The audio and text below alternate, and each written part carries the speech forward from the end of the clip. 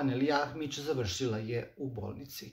Odmor u Dubrovniku, kažu neki, naglo je prekinut, a Aneli je i bila mnogo zabrinuta za Noru, pa tako se i pojavila fotografija na društvenoj mreži Instagram Norine noge, a Aneli kaže samo da mi nju ništa ne boli. Iako je povreda bila jako mala, Aneli se jako uspaničila, pa je tako i zatražila prvu pomoć.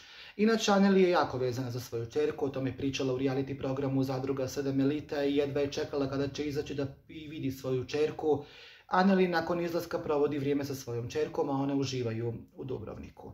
Mnogi komentarišu da li će Aneli ući u reality program Elita 8 ili će biti možda vojiteljka Farme 8. O tome se jako mnogo priča, jako mnogo naravno ispekuliše i komentariše. Šta će biti od svega toga ostavit ćemo svakako na vremenu da saznamo i da propratimo. Kažu ljudi da će ova sezona biti jedna najgledanija sezona ikada, da će mnoga stara lica ući, jako zanimljiva lica, ali pored tih starih učesnika imat ćemo i nove učesnike koji će sigurno da apsolutno pomjere granice. Šta nas to sve očekuje u najgledanijem reality programu Zadruga? To ćemo ostaviti na vremenu da saznamo i da propratimo od 7. septembra od 21 čas na Pink televiziji, a mnogi su tog mišljenja da će ova sezona biti sezona jako, jako udarna i mnogo zanimljiva, a mi ćemo to sve da saznamo od 7. septembra od 21 čas na Pink televiziji.